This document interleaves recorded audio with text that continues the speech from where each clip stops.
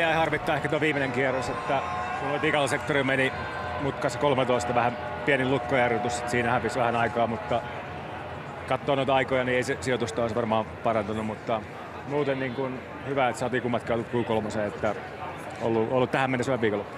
Mikä on se suurin eroavaisuus tähän viikonloppuun verrattuna viime viikonloppuun, kun viime viikonloppuna tuntui, että kaikki oli vähän haastavaa ja nihkeetä? Rata on niin erilainen ja niin kuin ennen viikonloppua sanoin, että todennäköisesti pystytään ajaa vähän paremmilla säädöillä ja, ja niin ollaan pystytty. Että selkeästi matalammalla autolla ollaan pystytty ajaa ja se tuottaa enemmän downforcea ja sitä kautta enemmän pitoa, niin sitten se on vähän helpompaa. Tämä rata tuntuu sopivan sulle. Kun täällä on tullut menestystä, niin tuleeko sellaiselle radalle aina jotenkin enemmän mielellään tai, tai tuntuuko se, että se on helpompi ottaa haltuun? Tämä on kuitenkin todella vaikea rata ja moni kuljettaja oli vaikeuksissa tänäänkin. No totta kai. Tietää, että yleensä, yleensä on osunut nappiin ja hyviä, tuloksia tullut, niin totta kai se antaa jo itseluottamusta niin kuin ennen viikonloppua selkeästi. Että, ja on ollut niin kuin puhdas viikonloppu, vaikka eka harjoitus jää väliin, mutta se ei, ei haitannut, että hyvin, hyvin pääsi rytmiin mukaan ja sitä kautta vauhtiin ja mun mielestä saatiin autosta kaikki irti.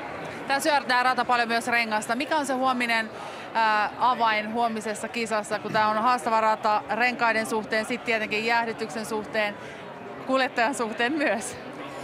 Niin, vielä on tietenkin vähän kysymysmerkkejä, että miten, miten tota, jotkut rengasseukset kestää, että sen näkee huomenna, mutta miten niin harjoitusten perusteella, niin mun mielestä meillä muihin verrattuna ihan ok, ok näyttänyt vauhti myös niin kuin painavalla autolla, että kyllä tuosta pystytään taistelemaan pisteistä ihan varmasti, mistä lähdetään.